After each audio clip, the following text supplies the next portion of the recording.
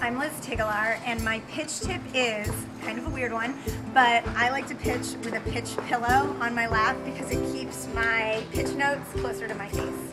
Then I can maintain eye contact and glance down easily.